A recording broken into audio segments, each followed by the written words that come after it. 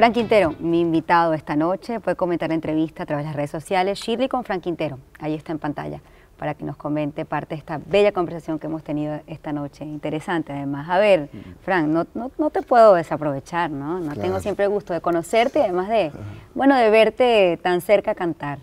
A ver, canción para ti. Sí, bueno, canción para ti. Eh, lo que pasa es que esa canción afortunadamente está en, en, una, en una parte de del escalato en el que no me es difícil cantar cualquiera. y si en sueños pudiera volar, yo llegaría hasta ti para entonces hacerte escuchar lo que nunca te pude decir. ¡Wow! Un aplauso para Fran. Ya que hay una anécdota con esta canción. A ver. Eh, uno, en uno de esos de esas giras en Venezuela íbamos para San Juan de los Moros a tocar.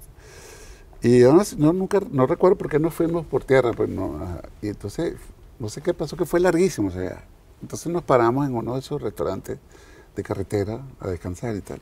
Y cuando y salimos de la van, había un muchacho vendiendo discos piratas afuera del restaurante. Sí, tenía un montón de, esos, de esos discos que son tres. Ajá. Entonces él me, dice, y el suyo lo tengo también. Entonces yo le dije, para verlo y tal. Entonces me dijo, no, no, no, usted me va a anunciar. Ah, ah, y además, esto lo voy a comprar. Entonces me dio el disco, el disco, tres discos, y el disco tenía como, o tiene, como 30 canciones. Mm. Entonces me dice, pues las canciones son, Dame la ciudad, pues, entonces una es Canción para ti. Más canciones y si el sueño pudiera volar. Sí, decía, yo llegaría hasta ti. Cierra los ojos. De esas 30, las 15 son como canciones para ti con diferentes nombres. Ay, bueno, la creatividad, ¿no? A veces, del venezolano, la viveza, criolla, puede ser. A ver, química, ¿qué hay detrás de esa canción? Okay, química. Otra, de tus. Volviendo a la, etapa esa de la transición de Sony para Rodin, para hacer de la calle el atardecer, que era el primer disco que yo iba a hacer con Rodin. Para los discos anteriores yo hacía 10, las canciones que iban y punto. Para este, esta vez dije, no, no, vamos a sentarnos a escribir canciones. Entonces mi hermano Leo y yo nos sentamos a analizar cuántas baladas debería tener el disco, cuántas canciones rápidas debería tener, los intros cuánto deberían tomar, el verso, tal que tuvimos meses. Y él llegó con una idea que él tenía, él, él tenía el verso y yo tenía el coro. Entonces yo tenía solamente química, química, solo es química, de tu cuerpo y mi cuerpo. Entonces, eh, bueno, si es química, la cuestión sensorial, entonces escribimos toda la canción cuando está junto a mí y tal. Pero yo dije, vamos a hacer esta canción con una mujer. Algo. Y en Los Ángeles, imagínate, hay cantantes, empezamos, audicionamos a un gentío, gente famosa inclusive. Y igual, yo tengo esa mala costumbre que, hasta que la cuestión no me mueva, entonces yo, oye, ¿quién será esta? Y un día viendo televisión había un programa que se llamaba Star Search, que era como American Idol. Y yo estaba viendo la cosa ahí porque Kenny O'Brien y las cuatro monedas iban a concursar. Que son amigos míos todavía.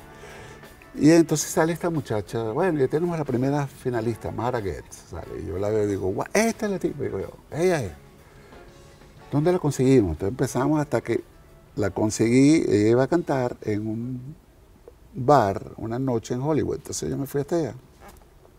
Una mujer muy hermosa, pelirroja, todo exuberante. Entonces yo me le presenté, mira, mi nombre es Frank Quintero, yo soy de Venezuela, estoy haciendo un disco, necesito una, una cantante para hacer, me dice, yo no hablo español, digo, no, no importa, o sea, nosotros hacemos el coaching. Ella dijo, bueno, yo puedo audicionar. Pues". Entonces vino audicionó. A mí me fascinó mm. la cosa. Me encantó. Además, fue, así como una combustión instantánea que ella agarró la canción. Entonces, le hicimos el coaching de yo le escribí como tenía que, así literalmente, ¿sabes? Eh, mm cómo tenía que pronunciar la cosa en español. Y ella cantó, la, cantó así, wow. Y yo dije, oye, esta es la canción del disco. Entonces, en la reunión de, de producción, ellos me preguntaron qué canción te gusta. Y yo dije, no. Esta. Sí. No, yo no dije. dije, no, yo sabía cuál era. Y entonces estábamos escuchando disco y cuando estaba sonando Química pasó Rodolfo Rodríguez y dijo, esa es la canción, no salgan con ese tema.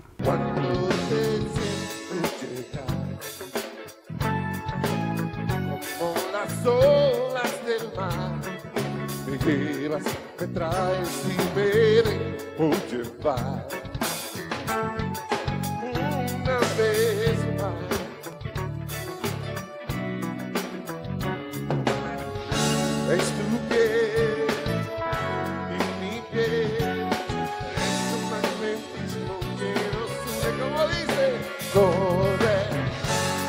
dijiste, bueno, en la primera canción para ti eh, te molestó, digamos, que haya sido ese tema porque tienes unas mejores canciones. Para ti, ¿cuál ha sido tu mejor canción?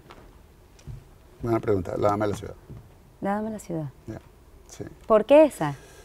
ok. Yo salí de, de mi época rockero así, Deep Purple, Jimi Hendrix. ¿Tienes fotos? Me gustaría compartirlas de esa época. Debe haber, yo Ah, no tengo, pero me imagino que las redes. Y mi papá que en ese mo- momento me odiaba porque yo, o sea, imagínate, tú, yo tenía un afro de este color así. y yo escuchaba esa música que así como para mí la música que escuchó mi, mi hijo, tu así, hijo, sí, igualito, sí. me imagino que Estuviese poseído por el diablo. Tal cual, por un demonio. Entonces, él habló con Aldemar Romero, yo creo que era a nivel de castigo y le salió el tiro por el otro lado porque lo mejor que a mí me pudo pasar fue eso. Aldemaro me enseñó a mí sobre la música venezolana, completica, desde el joropo, en todas sus exp- expresiones, la quirpa, el joropo, el golpe tuyero, el tamonanga, ¿eh? hasta música clásica. Cuando yo llegué de la gira con Amor por Europa, yo quería escribir algo que tuviese que ver con Venezuela. Entonces escribí ese vals, un 3x4, nada más, pero no tenía letra. Mis letras eran así, cosas puyúas y que si yo subo en tu, en tu imaginación escaleras al sol. Mm. Y no sabía qué escribir. Y tenía la música, pero no tenía letra. Mis dos abuelas eran de Barlovento. Y un día yo les pregunté, cuando ustedes eran jóvenes, Mm. de, de Caucagua. ¿Cómo era la cosa? Entonces ellas empezaron a contarme, imagínate, o sea, esto y esto. Pero lo más importante era cuando la gente de la ciudad iba a Barlovento, que era considerado el campo. Ujú. Entonces, ¡ting! Bueno, la muchacha de la ciudad que va al campo y el campesino se enamora de ella. Y, y la ciudad Keiko. Y además, lo hicimos con una orquesta sinfónica, Chuchito Sonajo hizo el arreglo, eh, 40 músicos tocaron, fue una cosa así. Y se convirtió como, también, como canción para ti, pero es una canción representativa de Venezuela, ¿sabes?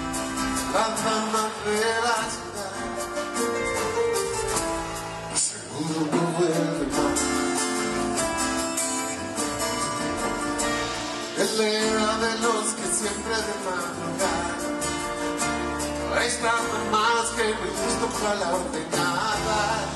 Cuenta las manos ricas que por el llanto no se le ve. Desde el día que se fue en el mediodía ya no se le llorar. Ya no la quiere ver más.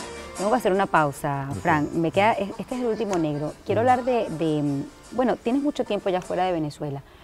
En, en tu juventud, como decías, cuando eras más joven, cuando eras más joven, eh, viviste en Estados Unidos, pero ahorita ya este ha sido tu país de, de residencia. ¿no? Me pregunto cómo, bueno, cómo ha sido llevar la música y todo lo que ha sido tu legado en este tiempo, sobre todo si no se ha convertido, eh, aquellos músicos que han vivido, o sea, han, decidido radicarse en otro, eh, o vivir en otro país, se ha convertido su música en un ejercicio de nostalgia. Me lo vas a responder al, al regreso. Hacemos una pausa. Última parte de la entrevista con Frank Quintero. Ya volvemos.